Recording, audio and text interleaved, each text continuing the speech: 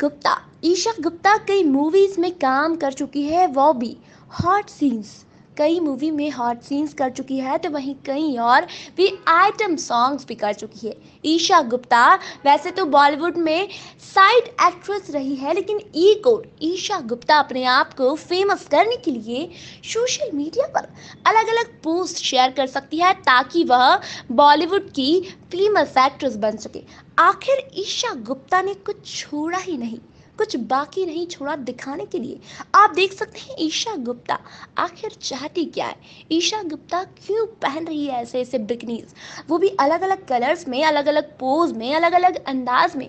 आखिर Isha Gupta social media पर fans बढ़ाना चाहती है या फिर कुछ और ही वजह है? देखते रहिए इन फ़ोटोज़ में कि किस तरह ईशा गुप्ता अपने अलग अलग पोज से लोगों को लुभा रही है। Subscribe our channel and press the bell icon for more updates.